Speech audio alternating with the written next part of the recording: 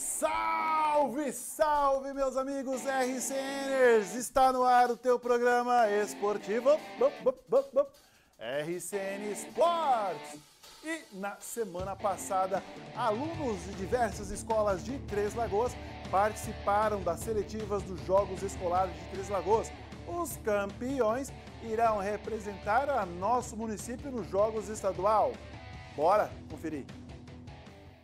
As últimas vagas para representar Três Lagoas nos Jogos Escolares da Juventude de Mato Grosso do Sul foram definidas. Foram escolhidos atletas que irão competir no atletismo, xadrez e tênis de mesa. Participaram alunos de diversas escolas de Três Lagoas da rede pública e privada.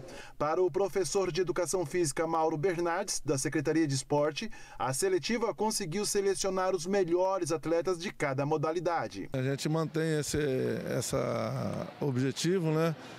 Porque é ali na escola que começa tudo, né? O professor que descobre o talento da criança.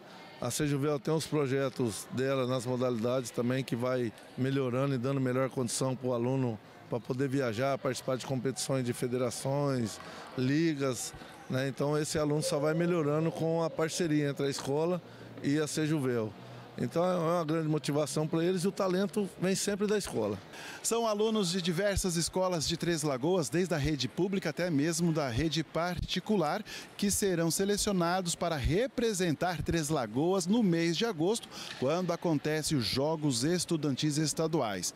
A novidade para este ano é que nas modalidades coletivo, a exemplo voleibol, basquetebol, as disputas acontecem aqui em Três Lagoas. Então, é com alegria, né? A gente vem sediando várias etapas aí dos Jogos Escolares e mais um ano aí a Fundesport precisou que Três Lagoas sediasse mais uma vez. É, vem em torno aí mais ou menos de 1.500 atletas, né? Uma primeira etapa que seria de 21 a 27 basquete e futsal. E na segunda etapa, mais ou menos 1.200, 1.300 atletas, que é o voleibol e o handball. Alunos de 12 a 14 anos terão a oportunidade de competir com outros atletas de vários municípios de Mato Grosso do Sul. E para o professor Reinaldo, essa seletiva serve para apresentar o esporte para essas crianças. Essa competição né, é um evento que é uma realização da Prefeitura Municipal de Três Lagoas, né, junto com a Secretaria de Esporte. E o objetivo dessa competição é selecionar nossos atletas, nossos alunos, para poder depois representar o nosso município nos Jogos Escolares de Mato Grosso do Sul.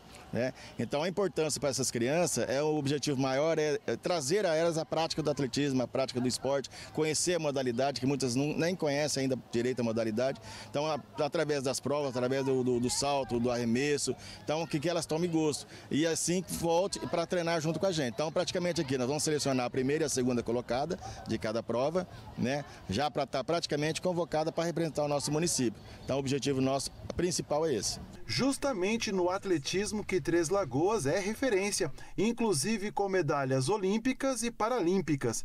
E a base vem forte conquistando títulos. Através dessa categoria, dessas, desses incentivos que a prefeitura passa, a secretaria passa, hoje nós temos atletas que nem a Aninha, hoje é a primeira, é a terceira do ranking nacional. A Vitória hoje ela ocupa a primeira colocação na, na, que tem 14 anos, ela ocupa a primeira colocação no, no peso e no lançamento do disco. Nós temos vários campeões brasileiros, né? Várias medalhas internacionais. Então tudo o fruto é daqui, é do início, entendeu? É esse incentivo que a Secretaria de Esporte está dando, junto em parceria com a, a, a direção da escola, junto com os professores da escola e junto com os alunos. Outra modalidade que tem conquistado medalhas para Três Lagoas é o xadrez. O professor Rodrigo sabe das dificuldades de trabalhar o esporte com essas crianças.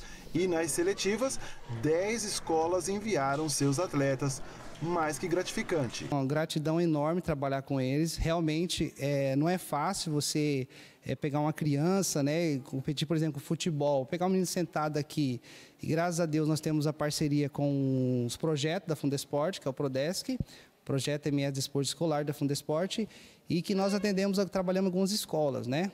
Hoje nós trabalhamos aqui, é, tem cinco escolas de Três Lagoas que tem esse programa, tanto é que a maioria dos alunos são desse projeto. E a seletiva hoje está acontecendo com cerca de 40 alunos, né, estudantes aqui de Três Lagoas, é, envolvendo aí mais de 10 escolas.